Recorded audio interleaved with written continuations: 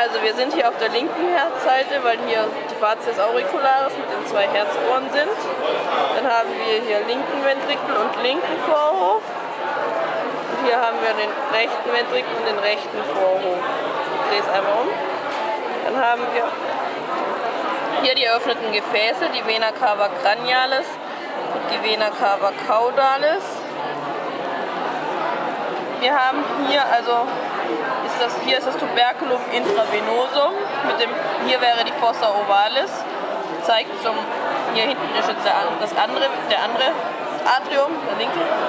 Dann haben wir hier den Sinus coronarius wo die Herzkranzgefäße in den, rechten, in den rechten Vorhof ziehen. Hier ist der Sulcus terminalis und ja, da müsste irgendwo noch die Christa terminalis sein. Hier drin, wenn man in die Herzohren guckt, sieht man die Musculi pectinati oder papillaris. Ja, Papillaris, oder? In den Herzohren, die verwachsen.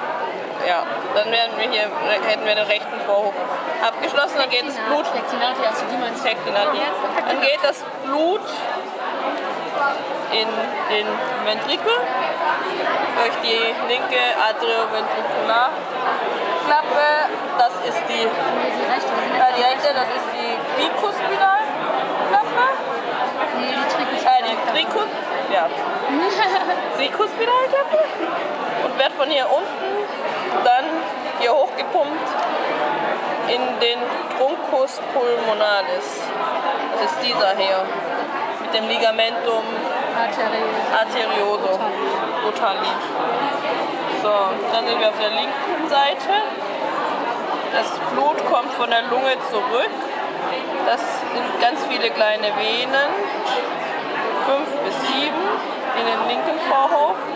Geht durch die Bikuspidalklappe in den linken Ventrikel, wird nach oben gepumpt und geht hier in die Aorta von der hier dann der Truncus brachiocephalicus abgeht.